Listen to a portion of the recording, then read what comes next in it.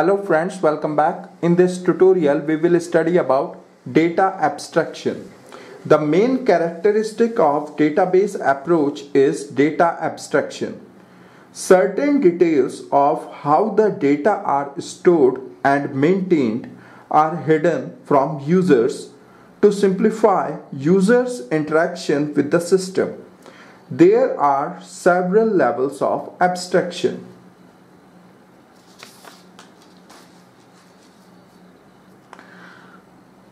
The physical level is the lowest level of abstraction which describes the actual physical storage of data in memory. The physical level describes complex low level data structure in detail.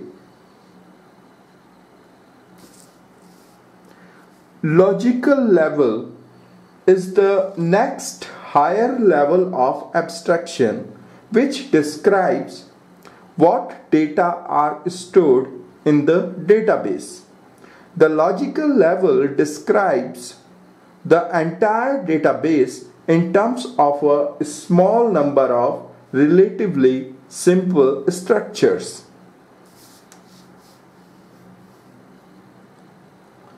View level is the highest level of abstraction which describes only part of the entire database because many users of the database system need to access only a part of the database. So, view level of abstraction simplifies their interaction with the system.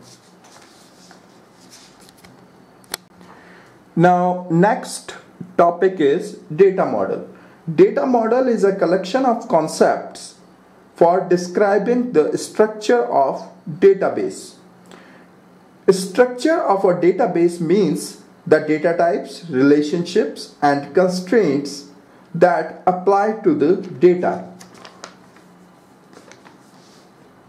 Data model provides the necessary means to achieve abstraction. Data model hides the storage and implementation details from the users. For example, entity relationship model and the relational model are the data models which provide a way to describe the design of a database at the logical level. Thank you very much.